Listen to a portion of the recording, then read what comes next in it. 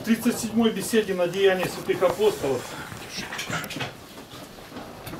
святитель Иоанн Златоуст говорит о взаимном согласии и мире.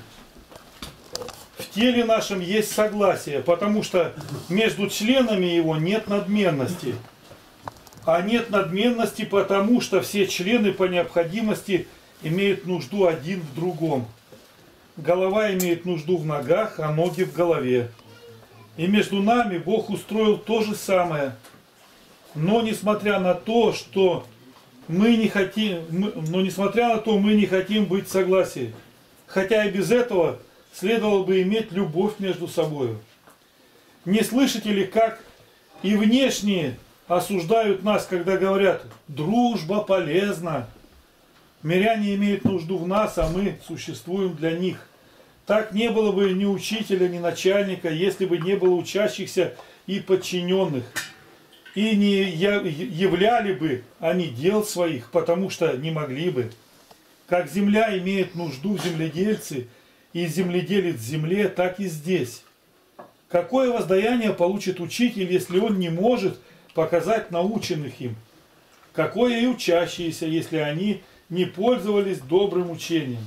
Таким образом, мы равно имеем нужду друг в друге, начальники в подчиненных, настоятель в послушниках, ибо начальники существуют для других многих. Никто ни в каком деле не может ограничиться самим собою. Нужно ли будет рукополагать или давать советы и мнения, но получают такую честь в собрании многих. Даже бедные имеют нужду в подающих, а подающие приемлющих. Будем внимательны друг к другу, говорит апостол, поощряя любовь и добрым делам. Евреям 10 глава 24 стих. Посему много может общение с церковью, и кто не может сделать чего-либо сам собою, то сделает вместе с другими. Посему-то здесь особенно совершаются потребные молитвы о всем мире, о церкви, о всех ее пределах, о благосостоянии, о находящихся в опасностях. И апостол Павел выражает это, когда говорит, чтобы задарованное нам по ходатайству многих, многие возблагодарили за нас. 2 Коринфянам 1 глава 11 стих. То есть, чтобы воздана была благодарность многим, и часто он и спрашивает себе молитвы их. Посмотри, что и Бог говорит о ниневитянах. Мне ли не пожалеть Ниневии, города Великого, в котором более 120 тысяч человек. Иона 4 глава 11 стих. Где двое или трое, говорит Христос, собраны во имя мое, там я посреди них. Матфея 18, 20. Если же двое могут сделать многое, то не тем ли более многие, положим, что ты и один не имеешь силу, но не столько, как с другими.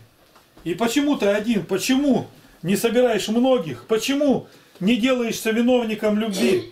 Почему не устраиваешь дружбы?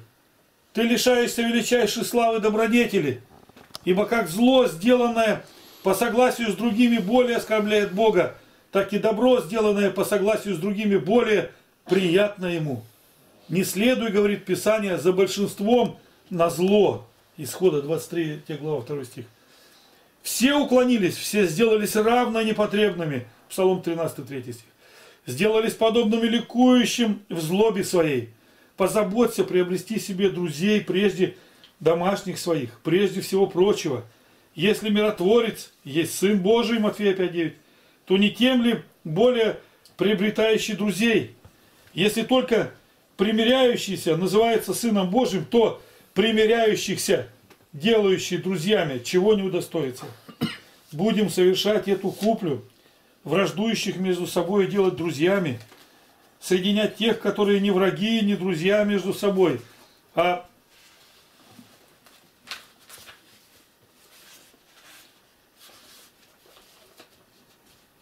а прежде всех нас самих. Ибо как тот, кто допустил вражду в своем доме и живет не в согласии со своей женой, не будет иметь доверия, когда станет примерять других, но услышит слово «врачу исцели себя» Лука 4.23. Так точно и мы услышим здесь. Какая же вражда у нас? Вражда души с телом, порока с добродетелью. Прекратим эту вражду, уничтожим брань. Тогда и других будем вразумлять с миром и с великим дерзновением, без упреков совести. Гнев противится кротости, любостяжание противится презрению богатства, зависть противится доброжелательству. Прекратим эту брань. Не зложим этих врагов, поставим эти трофеи, устроим мир в нашем городе, ибо у нас есть свой город и управление, граждане и множество пришельцев. Изгоним пришельцев, чтобы не развратились наши граждане.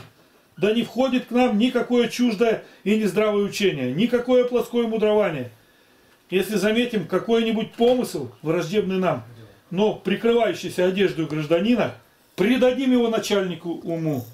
Много у нас таких помыслов враждебных по существу своему, но прикрывающихся кожею овчею. Господу нашему слава по веки веков. Аминь. Аминь.